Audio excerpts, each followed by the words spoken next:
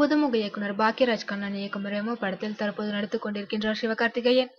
இந்த படத்தின் படப்பிடிப்பு வேகமாக நடைபெற்று வருகிறது.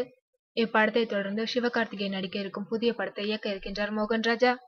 இந்த படத்தில் சிவகார்த்திகேயன் ஜோடியாக நடிக்க நயன்தாரா ஒப்பந்தம் செய்யப்பட்டிருக்கின்றாராம். இந்த படத்திற்குள் நயன்தாரா எப்படி வந்தார்? இந்த படத்தின் கதைப்படி நன்றாக நடிக்கக்கூடிய கதாநாயகி வேண்டும் என்பதுதான் இயக்குனரின் முடிவாக இருக்கின்றது.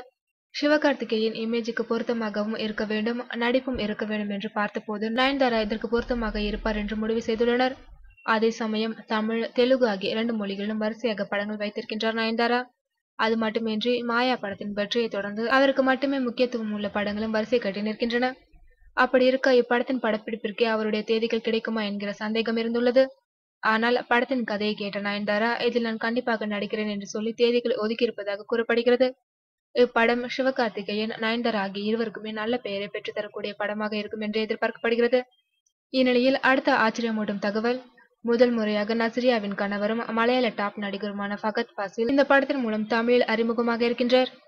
மலையாளத்திலேயே மிகவும் வித்தியாசமான படங்களை தேடி நடிக்கும் ஃபகத் பாசில் தற்போது சிவகார்த்திகேயனின் படத்தில் நடிக்கிறார் எனில் கண்டிப்பாக மோகன் ராஜா தனி ஒருவன் பாணியில் அடுத்த வித்தியாசமான படம் ஒன்றை உருவாக்குகிறார் என்றே தோன்றுகிறது.